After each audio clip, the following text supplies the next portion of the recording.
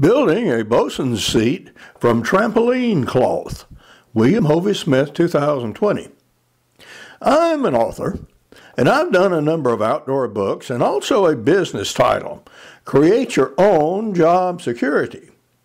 In this title, I teach individual entrepreneurship, and in particular, how you can start your own job anytime, anywhere, at any age to raise whatever kind of money you need to raise, particularly in times like this. My newest book is a novel, Father of the Grooms Murder, Marriage, and Mafia. An American family meets their Sicilian cousins. In this book, an American family goes on a Sicilian vacation and are given an offer by their mafia relatives that they cannot refuse. This is Hovey Smith, the Backyard Sportsman. And what I have on the kitchen table here is a piece of trampoline cloth. A couple of days ago, my sister fell in her backyard. And we had to rig up a improvised bosun's chair and a tripod to actually lift her where she we could sit her down in a chair and she could walk back to the house. You can see my video, Sister Down, on YouTube, which shows how this bosun seat was actually constructed and used on the spot. Uh, such a thing could happen again. Uh, my sister is a large woman. She's six years older than me, and my brother-in-law is some 10 years older than me. So I can foresee perhaps needing this thing again sometimes. So we had to improvise and cut the trampoline cloth right there then. And I didn't have time to do careful measurements, certainly didn't have time to sew any of it up. And now we're going to make a bosun's chair out of this trampoline cloth. Now if you happen to be a firefighter or an EMT person and are sitting around with time on your hands and you see one of these being thrown out of the dumpster, grab it. This is awful useful cloth and I'm going to show you how to work it and use it. It's nice because it has all kinds of interesting tie points all the way around the periphery of it. I did have to cut a piece for a tail to go between the legs and there I need to sew up some more attachment points, which I'm about to do. But my first task is to roughly cut it into shape. Then we're going to take it outside and actually burn those edges so that they're sealed and sew in the new attachment points.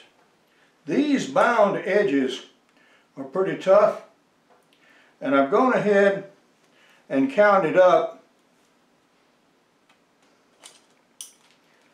nine rings from the edge of the cloth and so now I'll have a, a straight line cut to a corner here. So I'm going to use, this is my starting point.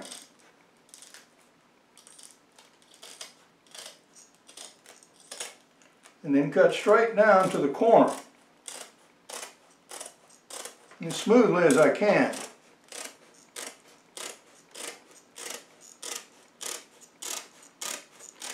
This was laying out in the dirt for quite a while and I've already washed it, but it still has dirt on it. But we'll salvage this top row of rings because we'll use it again on the tail to come between the legs.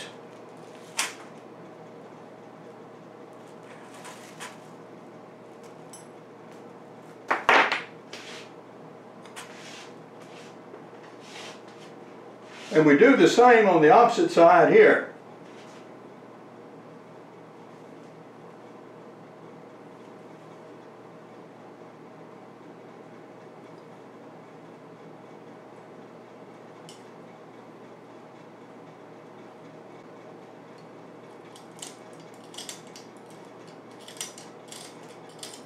This polymer material is unknown to me.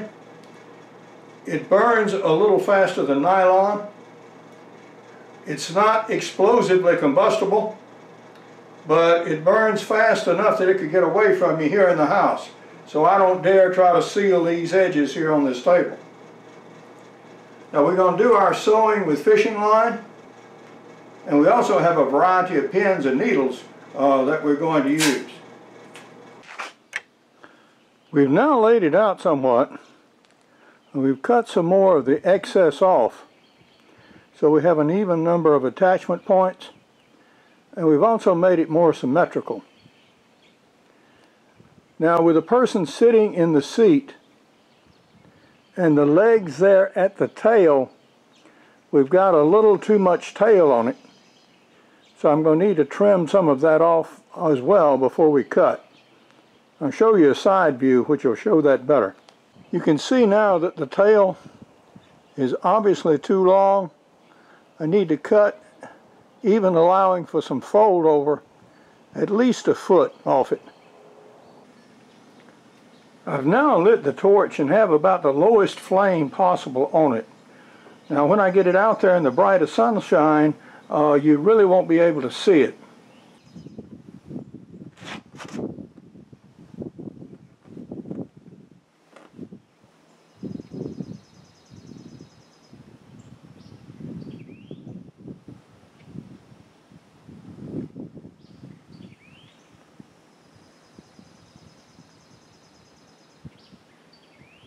Is somewhat like welding in the sense that you have to keep a uniform speed. It's irregular, but that's okay because I'm going to fold this over.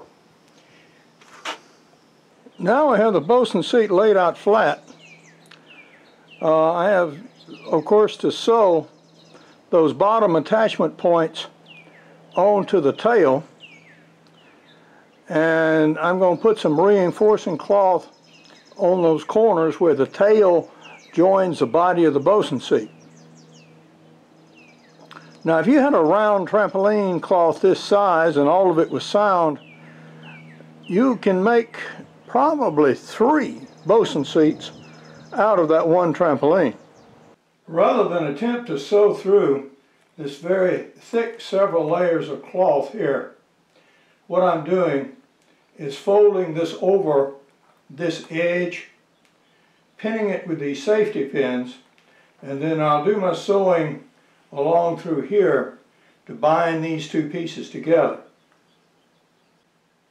We're about halfway through sewing uh, up our sheet here. And what we've done is folded the fabric over onto itself.